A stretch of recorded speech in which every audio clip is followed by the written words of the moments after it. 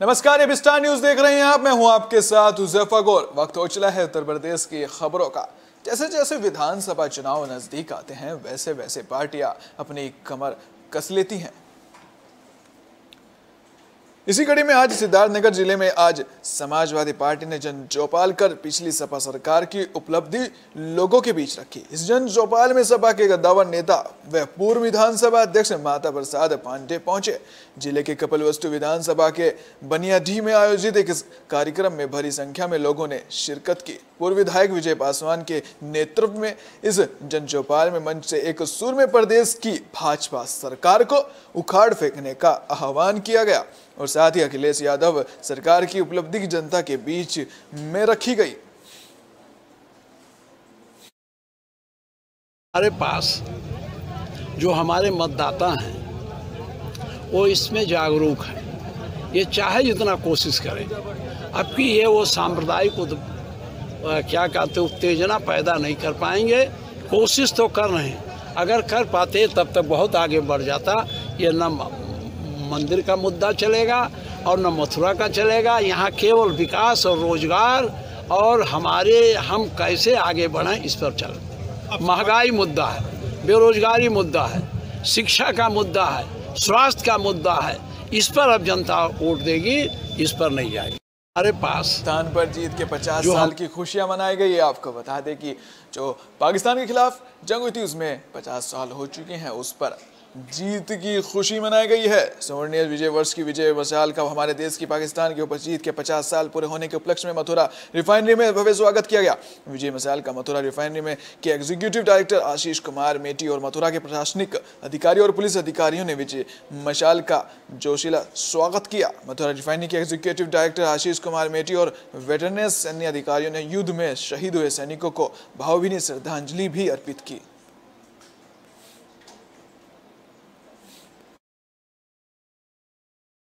हाँ सभी हम लोग एकत्रित हुए हैं। उसका कारण यह है कि भारत, बांग्लादेश, पाकिस्तान का जो युद्ध हुआ था सन उन्नीस सौ इकहत्तर में, उस समय अब उसको 50 साल हो गए हैं। तो भारत इसका जो है स्वर्णिम वर्ष जो है सेलिब्रेट कर रहा है, जिसकी वजह से पूरे देश भर में आयोजन किया जाता है। उन्नीस सौ इकहत्तर की लड़ाई में जब पाकिस्तान ने भारत पर हमला किया था तो उसमें जनरल न्याजी जो पाकिस्तान के जनरल थे और जगदिन जोगविंदर सिंह मेरे जनरल जनरल अरोड़ा थे उन्होंने पाकिस्तान की तिरानवे हज़ार फौज को सरेंडर करने पर मजबूर कर दिया था। तो ये एक ऐसा युद्ध युद्ध एक ऐसा इतिहास था भारतीय इतिहास में, जो दुष्विश्व के इतिहास में जो ऐसा कभी नहीं लड़ा गया। तो ये जो युद्ध लड़ा गया है, वो भारतीय इतिहास में और विश्व इतिहास में स्वर्णिम अक्षर में रख, लिखा गया है। तो इस विजय को बनाने के लिए, इस विजय को सौर्य सेना के शौर्य को बरकरार रखने के लिए पूरे देश भर में आयोजन किया जाता है, जिसकी वजह से हम सब लोग यहाँ खबर प्रतापगढ़ से सामने आ रही है, जहाँ बीजेपी के सांसद का दबंग, बीजेपी के सांसद की दबंगई देखने को मिली। आपको बता दें कि सांसद के समर्थकों का अस्पताल में हंगामा भी हुआ।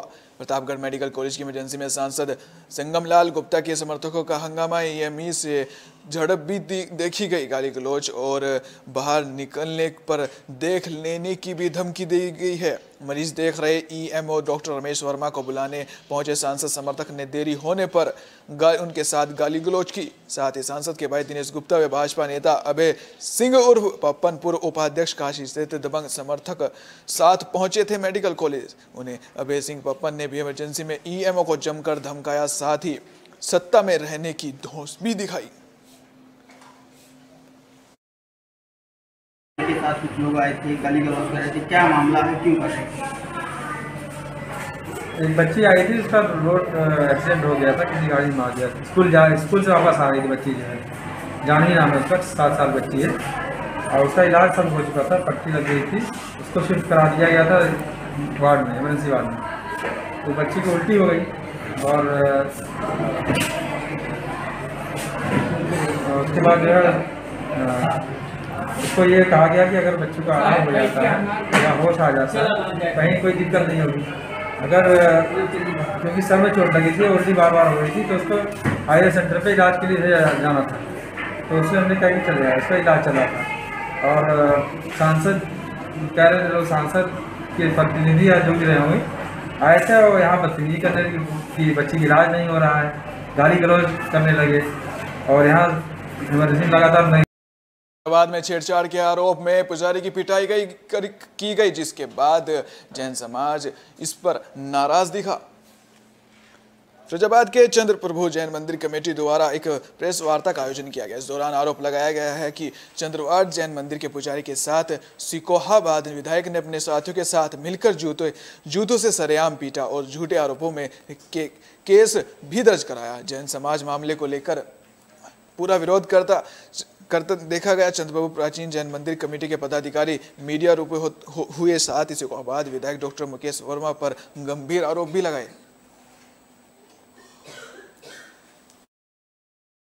अगस्त माह में जो है, स्टेडियम की स्कीम आई थी ग्राम चंद्रवाड़ में, जिसके लिए जैन मंदिर की जो पार्किंग एक बीघा ज़मीन में लगभग बनी है, जिसमें एक लाख ईंटों का खड़ंजा भी लगा है।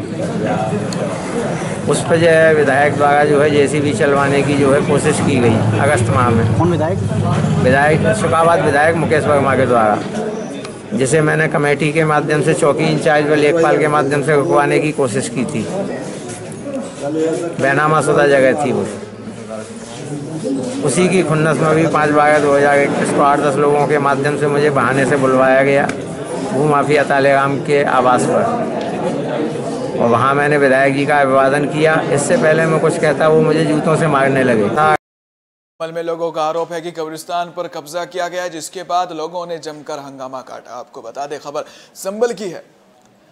संबल के थाना अजमौली क्षेत्र के गाँव हैदरपुरा, हाजीपुर के मुस्लिम समुदाय के लोगों की कब्रिस्तान है, जहाँ गाँव के ही लोगों को ऐसा लग रहा है जैसे कि उनके कब्रिस्तानों की ज़मीन पर अवैध तरह से कब्जा किया जा रहा है। जब गाँव के लोगों से बातचीत की तो गाँव के लोगों ने बताया कि यह ज़मीन कब्रिस्तान की है, जो कि पिछले कई सालों से खाली पड़ी हुई है। जब हमारे संवाददाता ने लेखपाल सुरेंद्र कुमार से बात की तो लेखपाल ने भी कब्रिस्तान की ज़मीन अपनी बताई, लेकिन कब्रिस्तान की ज़मीन पर ठियाबंदी नहीं की गई। गाँव के ही रहने वाले मोनू पुत्र जयपाल सिंह का प्लॉट है। मोनू ने अपने प्लॉट की बाउंड्री तीन ओर से करा दी है और आगे की और कब्रिस्तानों की ज़मीन है। स्थानों पर अवैध कब्जा हो रहा था तो हमने पटवारी को बुलवाकर उसका नाप तोल कराई तो उस टाइम में पंद्रह दिन पहले वो रोक दिया गया और उसके बाद में अब फिर जो अवैध कब्जा करना शुरू कर दिया। अवैध कब्जा कौन कर रहे हैं? मोनू सनोप जयपाल सिंह। इस मामले की सूचना आपने लेखपाल को दी? लेखपाल को दी थी वो दीवार भी उखड़वा गए और बुनियाद पीछे को करा गए थे। अब इन्होंने मिट्टी डाली है।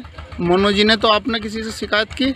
हमने पटवारी से शिकायत बधाइयों का एक वीडियो वायरल हो रहा है जिसमें एक महिला की बुरी तरह से पिटाई की जा रही है।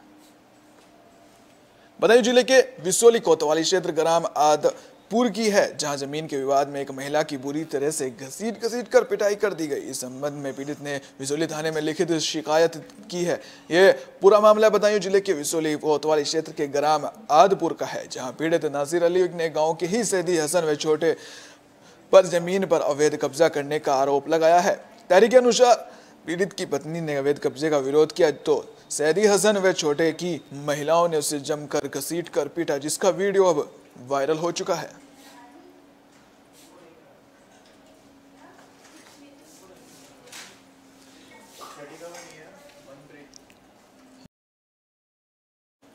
खबर फिरोजाबाद से सामने आ रही है, जहाँ एक अजीबोगरीब मामला सामने आया। एक युवक अपने ही घर में आग लगाकर भाग गया, जिसके कड़ी मशक्कत के बाद फायर ब्रिगेड ने बड़ी मुश्किल से आग पर काबू पाया।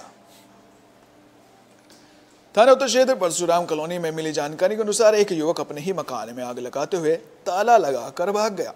धुआँ उठते देख क्षेत्रीय लोगों ने पुलिस व फायर ब्रिगेड को सूचना दी। मौके पर पहुँची फायर ब्रिगेड ने आग को बुझाया। बताया जा रहा है कि अपनी माँ को उक्त कलियों की बेटे ने तीन महीने पहले निकाल दिया था, जो कि किराए पर रह रही है।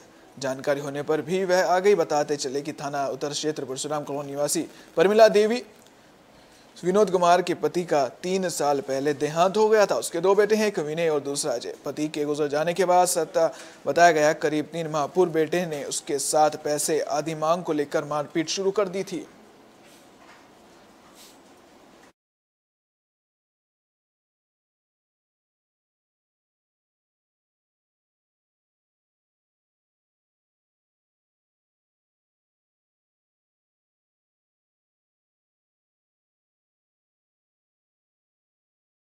पर सोनभद्र से आ रही है, जहाँ पर बीजेपी उपाध्यक्ष ने लोगों की फरियाद सुनी। लोगों की समस्या सुनकर उन्होंने उनका हल निकालने को भी कहा। सोनभद्र चौपन ब्लॉक क्षेत्र में जुगेल ग्राम सभा के टोला पंचपेड़िया में बनवासी गिरिवासी जन संवाद कार्यक्रम हुआ, जहाँ हज़ारों बनवासियों की पुष्टि में संपन्न भी हुआ। कार्यक्रम में बतौर मुख्य अतिथि पूर्व आईएएस प्रदेश उपाध्यक्ष भाजपा विधान परिषद सदस्य भी मौजूद रहे, जहाँ उन्होंने लोगों की फरियादी सुनी।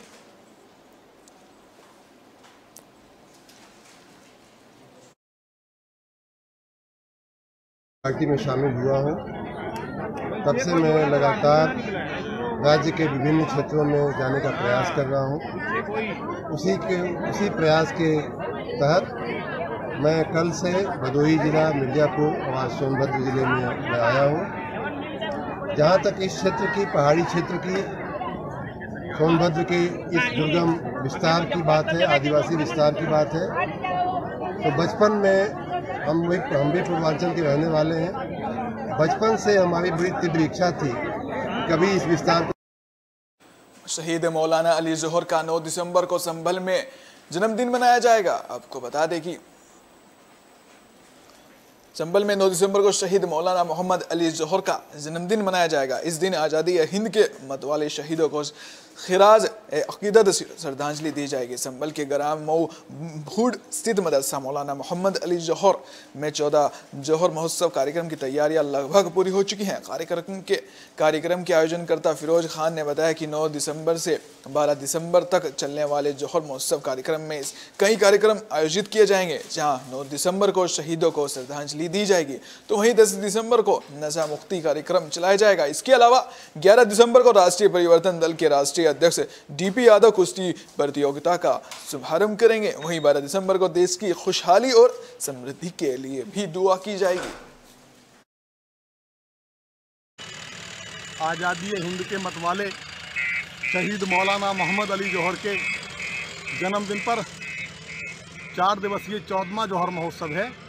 जिसमें हिंदुस्तान की आज़ादी के मतवाले शहीदों को खराज अकीदत श्रद्धांजलि पेश की जाएगी कल और उसके बाद 10 दिसंबर को जो हमारी नई नस्ल देश का उज्जवल भविष्य नशे की लत में डूबता चला जा रहा है और अपने ज़िंदगी को बर्बाद कर रहा है, अपने स्वास्थ्य के प्रति जागरूक नहीं है, उनके प्रेरणा स्रोत महिला पुरुष कुश्ती गामा पहलवान कप का आयोजन। उत्तर प्रदेश की खबरों में फ़िलहाल इतना ही। देखते रहिए स्टार न्यूज़, क्योंकि यहाँ पर खबरों का सिलसिला कभी नहीं थमता। नमस्कार।